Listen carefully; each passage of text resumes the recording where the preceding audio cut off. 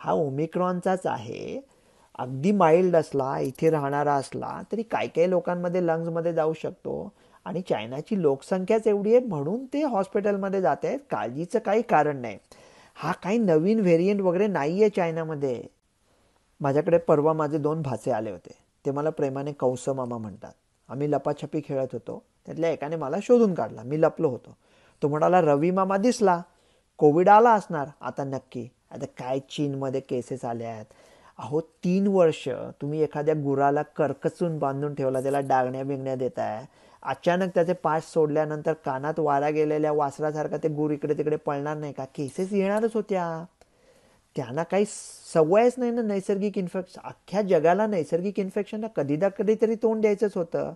Vaccination छान झालं आहे चायनाचं पण व्हॅक्सिन तुम्हाला मामूली डिसीजपासून नाही वाचवत. फक्त सिरियस डिसीजपासून वाचवतं. हा ओमिक्रॉनचाच आहे. अगदी माइल्ड असला इथे राहणारा असला तरी काही काही लोकांमध्ये लंग्समध्ये जाऊ शकतो. आणि चायनाची लोकसंख्याच एवढी आहे म्हणून ते हॉस्पिटलमध्ये जात आहेत. काळजीचं काही कारण नाही. हा काही नवीन व्हेरियंट वगैरे नाही आहे चायनामध्ये. हा बी ए म्हणजे ओमिक्रॉनचीच पिल्लावळ आहे. आपण ती ऑलरेडी पचवले भारताला काळजीचं काहीही कारण नाही. मग चीनमधला हा जो व्हायरस आहे हा बदलला आणि डेल्टासारखा खतरनाक होऊन मग भारतात आला तर?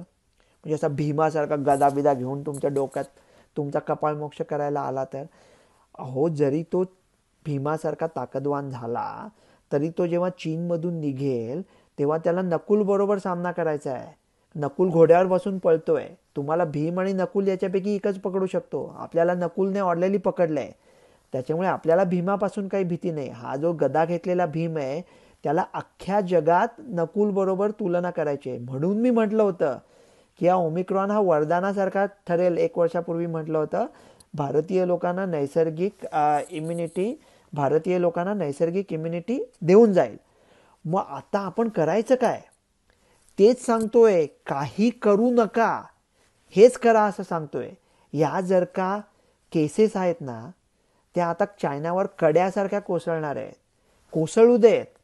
आपण त्याला कडेवर घेऊन फिरू. आपली तयारी झाली आता. आता काही बदलू नका. हे करतो ते करतो ती काळजी घेतो ते प्रिकॉशन घेतो हे परत आणतो. लफडी करू नका तुम्ही. काहीच करू नका.